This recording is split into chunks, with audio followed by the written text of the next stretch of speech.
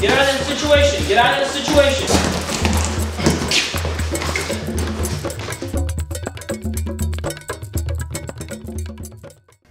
Hi, I'm T. Kent Nelson from Cutting Edge Defensive Tactics, and in this tactical training video clip, we're going to look at the hand fighting again, and we're going to address what to do when a suspect is going for your weapon, and how to utilize those strategies behind the hand fighting to stop that situation.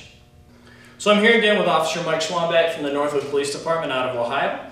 And in the last two, we talked about the importance of hand fighting and how we can kind of navigate our pathways around some flailing limbs. Uh, and we looked at how we stop a person from striking us by using that hand fighting. We can also use that to keep someone from going for our tools because if somebody gets a hold of our tools, they now have a weapon as well. Even if it's a even if it's so much as a set of handcuffs, they now have some sort of weapon against us. So we want to make sure that we control that sort of situation. And by controlling the hands, we make sure that they can't do that. First, I want to show you a common mistake, and then we're going to show you the way it should be done. One of the common mistakes is, as we get tussling around, an officer will wrap the arms. We don't want them to wrap the arms. And in this next clip, I'm going to show you why. I'm not going to tell Officer Schwanbeck why, but I'm going to show you why. Okay? Sir, stop resisting. Stop resisting. Stop resisting. Let go my weapon. As you can see, now I have a little bit more of an upper hand than I did before.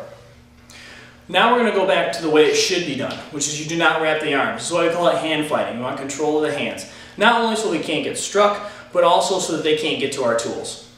Swing back. Sir, stop fighting. Stop fighting, sir. Stop fighting. Sir, stop fighting.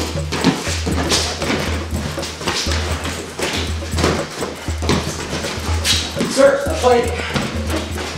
Stop fighting, sir. Sir, stop fighting.